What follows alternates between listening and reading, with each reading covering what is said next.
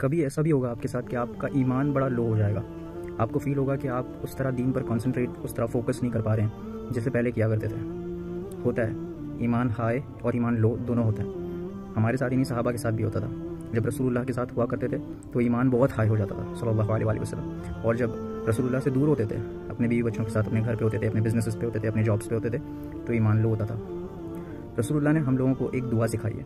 और वो इतनी कमाल की दुआ है, इतना वर्क करती है अगर आप दिल से पढ़ लें उसको और मीनिंग समझ के पढ़ें तो और भी अच्छी बात है। दुआ यह है कि या मुकल्लिबलक़लूब सबित कल्बी आला दीनिक। यानी या मुकल्लिब अलकलूब, मुकल्लिब कहते हैं फेरने वाले को, जो पलट देता है। अब जो कल्ब है ना, कल्ब का मतलब भी है, कल्ब एक्चुअली जो उसका रूट वर्ड है, कॉफ, लाम, बा, उसका मतलब ही पलट पलटने वाली चीज़ है। ऐसी चीज़ है जो कभी भी टर्न हो सकती है। इसलिए हार्ट को कल्ब वर्ड अरबिक में यूज़ किया जाता है, क्योंकि वो पलटता रहता है। वो एक जगह पे नहीं रहता। तो मुकल्लिब का मतलब होता है जो पलटता है, जो पलटने पर कादिर है। तो वो तो अल्लाह है। तो हम ये दुआ करते हैं, या मुकल्लिब, ए मुकल्लिब, यानी ए दिलों को फेरने वाले सबित कल्बी अला दीनिक, मेरे दिल को तेरे दीन पर सबित यानी इस्तकामत से ठहरा के रख स्टेड फास्ट रख। और ये इतनी प्यारी दुआ है, या मुकल्लबलूब सबित कल्बी अला दीनिक। आप इसे पढ़ेंगे, आपको ऐसा फील होगा कि हाँ मैं वापस ईमान बना रहा हूँ। और दूसरी चीज़ एक दुआ जो कुरान में खुद अल्लाह पाक ने हमें तालीम फरमाई है।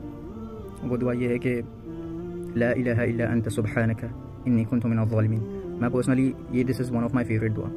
मतलब if not the favourite one of my favourites मैं इसे बहुत पढ़ता हूँ। इसका फ़ायदा ये है कि, इसके अंदर आप अलग सी एक आजिज़ी दिखा दिखा रहे हो अल्लाह पाक को।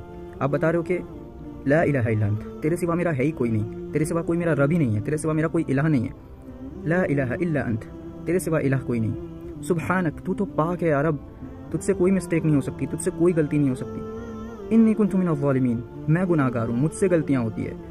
मैं गुनाह करता हूँ। मुझसे हो गया ना रब? तू माफ़ कर दे अपनी रज़ा से।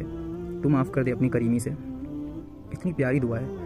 ला इन्नी कुंतु मिनल ज़ालिमीन और रसूलुल्लाह सल्लल्लाहु अलैहि वसल्लम ने फरमाया कि कभी ऐसा नहीं हुआ है कि यूनुस की दुआ के साथ अल्लाह की तरफ़ कोई मुतवजह हुआ हो और अल्लाह ने उसकी पुकार न सुनी हो और जवाब न दिया हो।